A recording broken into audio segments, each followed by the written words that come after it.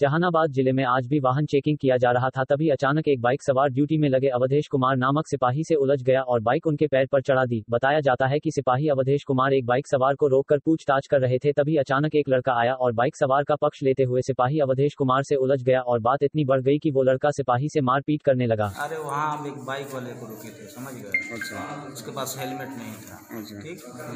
हम ये पूछ ही रहे थे कि बाबू हेलमेट क्यों नहीं पहन के चल रहा ठीक है तो सर छूट गया हम ठीक है एडमिट कार्ड दिखा दो परीक्षा में जा रहे थे हम छोड़ देंगे। बोला एडमिट कार्ड नहीं। है उतने पे आया साइकिल वाला उलझ गया। अच्छा आपके साथ? हाँ, हमारे साथ। अच्छा मारपीट करने लगा। हमें कलर पकड़ लिया बटन तोड़ लिया। अच्छा अच्छा। और पैर भी आपका डैमेज हो गया? अच्छा अच्छा। आप लोग वाहन चेकिंग में लगे? वाहन चेकिंग कहाँ पर? अच्छा तो लड़का भाग गया पकड़ा गया? पकड़ाया है। पकड़ा कहाँ का है वो? अभी नहीं पता। ठीक क्या नाम बताया अपना साहब